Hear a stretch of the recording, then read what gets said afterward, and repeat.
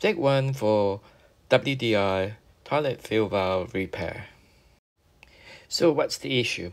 The issue is when you hear hissing noise, it's a leak, but it's not the rubber flapper.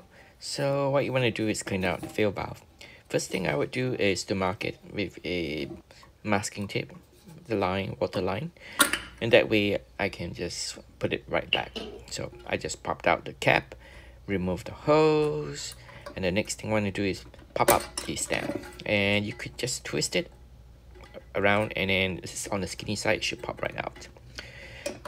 Next, I shall remove the bracket on the top. It's an interlocking bracket, so you want to remove this bracket that is called fill valve. And it has a washer in there, so just make sure it's on the same direction, in that way it doesn't damage the washer. So now give it a rinse, and then uh, remove any debris that is on the washer as well as the caps. Give it a wash on the inside.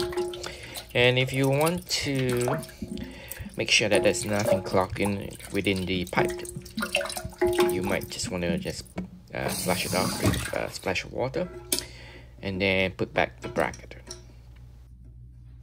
Lock back the fill valves by turning it clockwise put hose back and then just reassemble everything back putting back the stamp give it a twist it locks in and you are good to go to testing